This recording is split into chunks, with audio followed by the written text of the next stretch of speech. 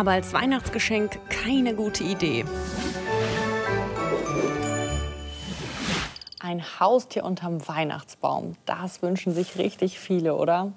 Tierschützer raten allerdings dringend davon ab. Warum das so ist, darum geht es heute bei uns. Der Rat der Tierschützer hat mit der Situation in vielen Tierheimen zu tun. Eins davon besuche ich heute in Köln.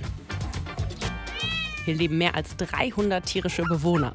Sie zu versorgen, dabei helfe ich heute Leonie. Sie macht eine Ausbildung zur Tierpflegerin. Schön, dich zu sehen. Du bist schon ready, ne? Ja, voll. Wir können direkt loslegen. Womit? Mit Zwinger sauber machen. Wir starten bei den Chihuahuas Nacho und Salsa. Den Eimer, den kannst du mir einmal gerade geben. Ja. Und dann Was können wir damit? auch rein. Damit sch- schaufeln wir den Kot auf. Kacke aufsammeln. Kann Genau. ich. Ganz kompetent.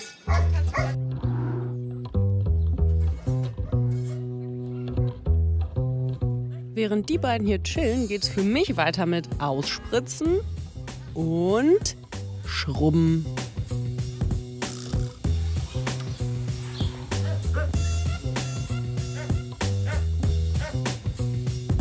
Boah, ist aber schon auch körperlich Arbeit, ne? Wie viele Zwinger schrubbst du am Tag? Ungefähr 10. Oder auch mehr. Boah, danach ist man aber auch richtig kaum. Ne? Ja. Und danach geht der Tag ja noch weiter. Ich kann ja nicht heimgehen. Ach ja, klar, ist ja noch eine zweite Hütte.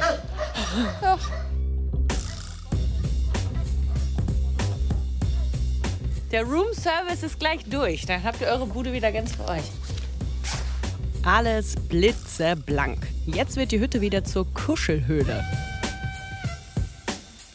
Und ich hab's geschafft. Sieht schon ganz gut aus, ne? Ja, auf jeden Fall. Aber ich habe jetzt auch lange gebraucht für diesen Zwinger, ne? Ein bisschen, ja. Kostet schon viel Zeit, ne? Ja, definitiv. Und hier sind ja jede Menge Zwinger, ne? Also wie viele Hunde habt ihr hier aktuell? Äh, ungefähr 40 bis 50. Wir haben noch ein, zwei Zwinger immer frei für Notfälle. Aber äh, ja, ansonsten ist voll. Wie Tiere im Heim landen, ist unterschiedlich. Wurden sie von ihren Besitzern ausgesetzt, müssen Heime sie als Fundtiere aufnehmen. Sie gelten dann als Notfälle. Genauso wie Tiere aus einer Sicherstellung. Sie werden von der Polizei oder der Feuerwehr ins Tierheim gebracht, wenn zum Beispiel ihr Besitzer gestorben ist. Viele Menschen sehen sich aber auch nicht mehr in der Lage dazu, ihr Haustier zu versorgen und möchten es im Heim abgeben. Oft ist aber für diese Tiere gar kein Platz mehr da. Was passiert dann mit den Hunden, die ihr nicht aufnehmen könnt? Manchmal drohen die Leute, dass sie die Hunde dann irgendwo aussetzen. Das äh, wollen wir dann doch auch vermeiden und gucken dann, wie wir doch noch Platz schaffen können.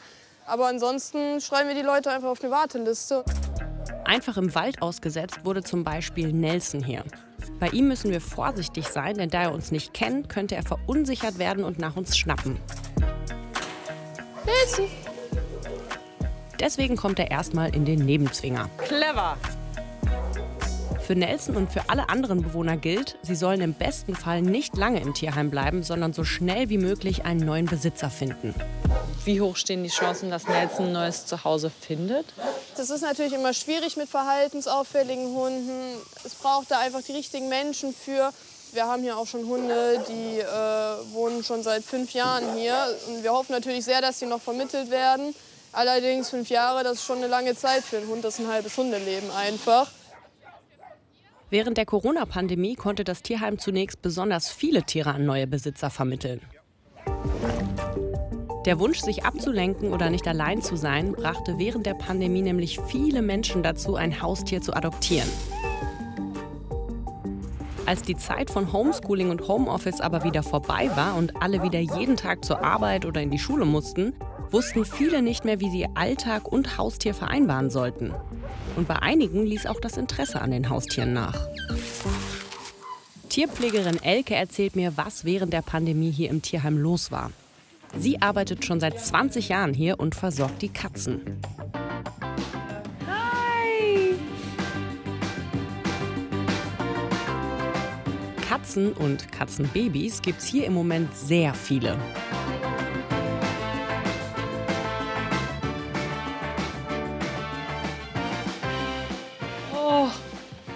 Kleine schwarze Flauschis.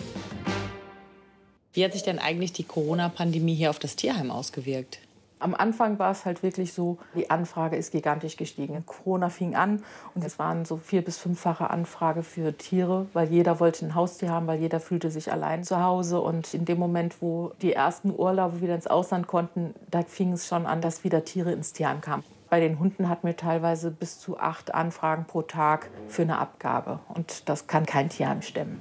Also in der Corona-Pandemie war es so, dadurch, dass alle zu Hause bleiben mussten, haben die euch hier quasi die Bude eingerannt, ja. wollten alle Tiere haben. Mhm. Und als man dann wieder in Urlaub fahren durfte und so weiter, kamen ganz, ganz viele Tiere wieder ja. zu euch zurück. Ja, also ich habe normalerweise eine Aufnahmekapazität von 45 bis 65 Katzen. Und ich hatte da nicht über 100 Katzen in den Gehegen. Und dann saßen die halt wirklich so eng, das war halt nicht mehr schön. Und wir mussten dann wirklich auch der Feuerwehr sagen, wir können nichts aufnehmen, es tut uns leid aber wir wissen nicht mehr wohin. Um zu verhindern, dass sich die Katzen weiter vermehren, wird jede Katze von einer Tierärztin kastriert. Viele Tiere müssen auch Medikamente nehmen oder operiert werden. Und das ist ziemlich teuer. Das ist halt wirklich auch äh, ein Kostenfaktor, der uns richtig Sorgen bereitet. Das hat sich gut und gerne schon verdoppelt. Das Geld, um die Tiere zu versorgen, bekommen Tierheime aus unterschiedlichen Quellen. Ein Teil bekommen sie von der Stadt. Im Gegenzug sind sie verpflichtet, die Fundtiere aufzunehmen und zu versorgen. Wenn Menschen ein Tier im Tierheim abgeben oder eines vermittelt bekommen, müssen sie eine Gebühr bezahlen. Weitere Einnahmen kommen über Mitgliedsbeiträge. Das meiste Geld nehmen viele Tierheime allerdings durch Spenden ein. Doch weil die Lage aktuell so dramatisch ist, haben viele Tierheime in einem Brief an die Bundesregierung unter anderem mehr finanzielle Unterstützung gefordert. Ein Adventsbasar soll die Kasse des Tierheims in Köln-Zollstock noch ein wenig auffüllen. Gemeinsam mit Tilda, Maja und Lale backen wir Hundeplätzchen, die dort verkauft werden sollen. Die drei gehören zur Kindergruppe des Tierheims. Bei ihren Treffen erklärt Leonie den Mädels normalerweise, wie die Tiere versorgt, gefüttert und betreut werden. Was würdet ihr sagen, worauf sollte man achten, wenn man sich ein Haustier holt? Was ist wichtig? Es ist sozusagen wie so ein kleines Baby. Man muss es füttern, man muss, sag ich mal, dem helfen, zum manchmal auf Klo zu gehen und alles und ja. Es ist eben auch Arbeit, ja. nicht nur Kuschelei, ne? Und dass man halt auch die Tiere nicht so wie Gegenstände behandelt. Dass man zum Beispiel die nicht die ganze Zeit auf den Arm nimmt, wenn die nicht mehr wollen. Ja, also es ist ja das gleiche bei Menschen. So, ich will doch niemanden zwingen, mich zu umarmen, wenn er nicht will. Kurz vor Weihnachten interessieren sich wieder viele Menschen für ein Tier als Weihnachtsgeschenk. Aber da macht das Tierheim nicht mit. Jetzt sind die Tierheime ja total überfüllt und trotzdem vermittelt ihr keine Tiere an Weihnachten, ne? Nee. Warum nicht? Da das Risiko einfach zu hoch ist, dass die Tiere nach Weihnachten wieder zurückkommen. Also dass die Entscheidung einfach nicht überlegt ist und um halt eben sicher zu gehen, dass die wirklich längerfristig dann vermittelt bleiben, lassen wir das an Weihnachten einfach bleiben. Ein eigenes Haustier sollte eine gut durchdachte Entscheidung sein. Und wer gern Zeit mit Tieren verbringt, hat auch andere Möglichkeiten dazu. Zum Beispiel könnt ihr eine Tierpatenschaft übernehmen.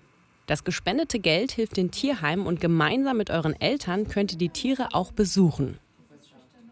In manchen Tierheimen könnt ihr außerdem Katzen vorlesen, richtig gehört, und ihnen so Gesellschaft leisten. Oder ihr pflegt ab und zu ein Haustier von Freunden, zum Beispiel wenn die im Urlaub sind. Mumpitz, und für dich ist jetzt schon Weihnachten mit unseren selbstgebackenen Weihnachtsplätzchen. Guten Appetit! So ein Haustier, das gehört natürlich nicht auf eine Weihnachtswunschliste, wissen wir jetzt. Aber mich würde mal interessieren, wie sieht das bei euch aus? Könntet ihr euch auch vorstellen, ja, du kriegst ja noch eins, ein Haustier zu versorgen? Und wenn ja, welches wäre das denn? Schreibt mir das doch mal auf 9,5.de und schaut auch gern mal auf unserer 9,5 Seite in der ARD Mediathek vorbei. Da gibt es noch mehr Folgen, aber keine Hundekekse. Bis dahin habt eine schöne Woche. Tschüss!